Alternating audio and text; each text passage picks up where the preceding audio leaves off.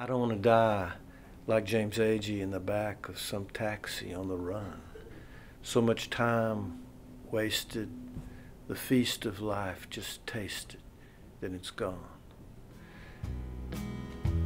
But the life that he But was the living, life that he was living and the gift that he was given were all one. The bad comes with the good, the madness and love, it's all or none.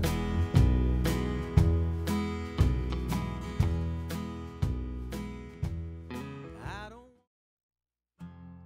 Where does this story end? R.B. Morris has had, as he puts it, a long and ever changing relationship to James Agee and his work. You might say that Morris has been conducting an extended study of Agee. He's written a one man play about Agee's life, grieved for Agee in the first verse of his song Take That Ride, and helped found a park in Agee's honor in the Fort Sanders neighborhood where both men grew up. Agee left his first mark on the songwriter's life when Morris was just a boy. Morris was 10 or 11 when his father took him to a screening of the movie based on Agee's autobiographical novel, A Death in the Family. Despite his history with Agee, Morris had no inclination to write a song solely about him until he was approached by the University of Tennessee Libraries to participate in a project called Boundless Artists in the Archives.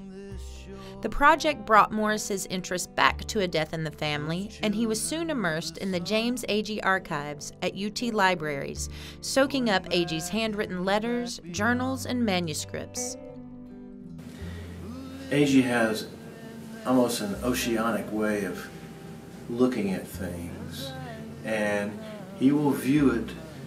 He sometimes, rather than seeming to be sure of himself or whatever, he will view it from uh, opposing views, and he'll cover all that. And just, just the, I think that's a big influence. Just to say, get a bigger picture of this, you know. Please join me now in making welcome R.B. Morris. Thank you. Morris had found his springboard, lifting up the material into a unique song experience. In R.B.'s song, The Story of the World, we encounter the spirit of Agee himself.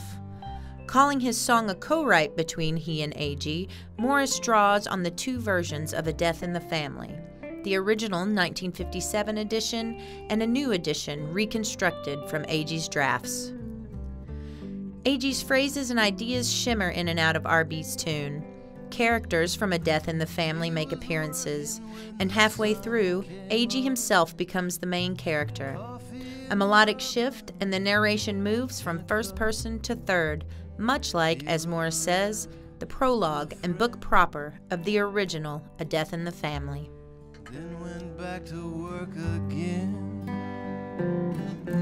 Wrestling an angel through the night. Drag that body into the light. No time to think of the cost. To keep this morning watch and tell the story of the world.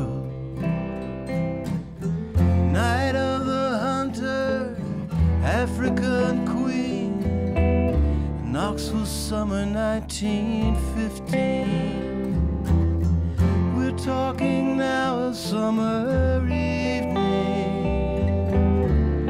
when I was a child.